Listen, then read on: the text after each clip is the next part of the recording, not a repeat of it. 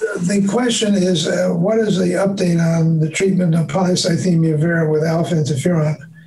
So, for 30 years since uh, we introduced interferon for the treatment of PV, there have been many phase two trials and single arm studies of PV, both in the United States, conducted by us and others, and especially in Europe, uh, conducted by our friends and colleagues there.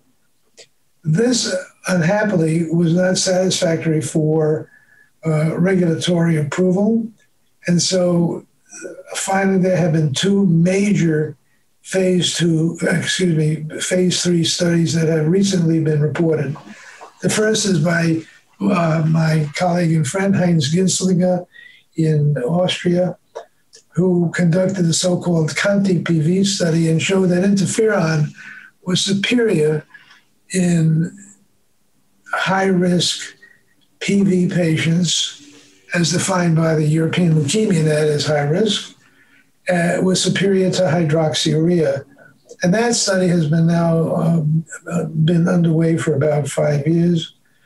And it shows that interferon is superior to hydroxyurea because it causes a better hematologic response and a better uh, reduction in the JAK2 allele burden. It probably has less toxicity over the long term than hydroxyurea. And now we know that not from this study specifically, but by beginning but by three to five years, you can get definite morphologic response in the bone marrow with restoration of normal marrow architecture, as shown by our group and confirmed by the group at MD Anderson. The other very important study was that by the Italians, led by uh, my good friend and colleague, Professor Tiziana Barbui, who showed that in early polycythemia vera, as defined by the European Leukemia Net, or low risk patients who traditionally have been treated in many centers by phlebotomy only, a method we don't particularly favor, that interferon is superior to phlebotomy only because it reduces the phlebotomy requirement. It, it also leads to the, to the, the sustenance and the sustaining of the hematocrit at a, at a level of 45% or less. And there is a reduction in symptoms as compared to phlebotomy only patients. So that trial has only been uh, reported as, as of a year, but is continuing, and we look forward to uh, more results as the study goes along. So finally, we have phase three studies, which hopefully will satisfy the regulatory agencies. And in fact, in Europe, the study by Dr. Gisslinger has been approved by the European authorities, not as yet in the United States or Canada, hopefully so uh, soon.